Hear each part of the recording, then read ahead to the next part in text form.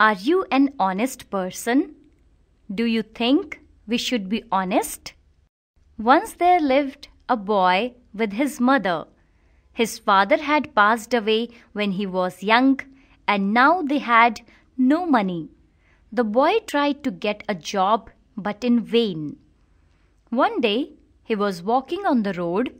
He saw a bag lying on the side of the road. He picked up the bag and opened it. There was a huge amount of money in the bag and an address card of the owner of the bag. The boy went to his mother and told her about the bag.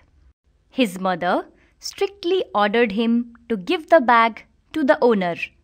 The boy reached the owner's house and handed over the bag to him. The owner was a very rich businessman and he had many factories. He was very thankful and glad to see the honesty of the boy. The rich man asked the boy where he was working. The boy told him his sad story and how poor his family was. The rich man was very impressed with the honesty of the poor boy and his mother and gave him a good job in his factory.